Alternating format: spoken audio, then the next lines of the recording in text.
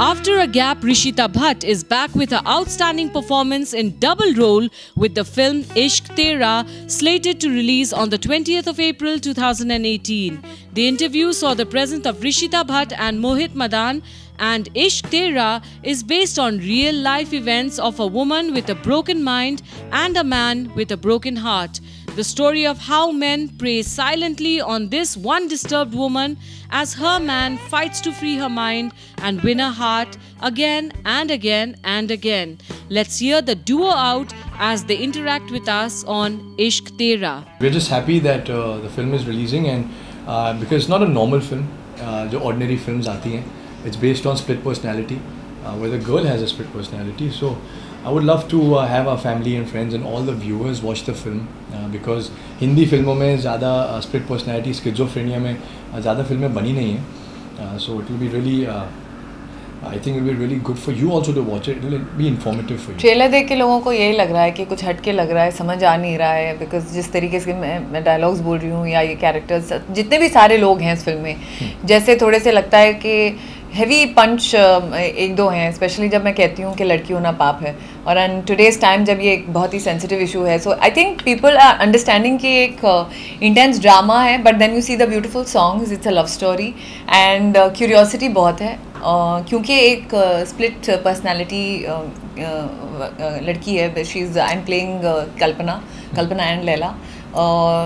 तो कहानी शुरू होती है why why she like that and but more than anything उसे ये एहसास होता नहीं है एंड देन फाइनली उसको कैसे पता लगता है that she actually is going through it but other people see her going through it तो ऐसे लोग when you are suffering from something like this they are not aware of something called split personality वो उनके लिए तो normally होता है and they don't even remember what they do वो आपको दिख ही रहे बस हंसती रहती है मज़ाक उड़ाती रहती है और क्या है? सिंपल एज दैट नहीं but on on screen I tell you ज़्यादातर इंटेंस सीन्स थे स्पेशली वन डबल रोल होता है ना तो कई बार क्या होता है आप एक हो दस ए दस बी एंड देन सडनली एक ही सीन में आप ए बी दोनों हो and then to react accordingly to your costar and specially your love interest तो थोड़ा सा डिफ़िकल्ट भी था एंड uh, काफ़ी इंटेंस सीन्स होते थे।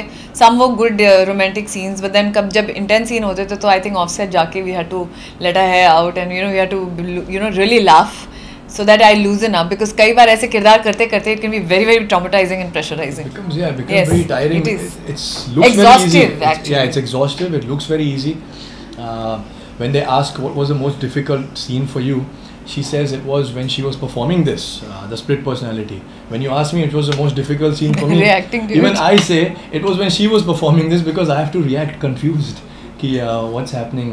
मैं क्या बोल रहा हूँ? If I say something, is it Kalpana talking or is it Leila talking or actually आप फ़िल्म देखेंगे तो समझ आएगा। तो chemistry as far as that chemistry and then of you see the songs and the song is very beautiful I think that brings out so much you know Sonu Nigam and Shreya Ghoshal and obviously एक title track earlier the film wanted they wanted to term it broken but broken क्योंकि not just English title था they also thought के state of mind उसका broken है। तो उस तरीके से वो गाना जस्टिफाई करता है। जब आप गाने के लिरिक्स सुनेंगे okay. तो आपको रियलाइज़ होगा that you know she is actually torn inside of a been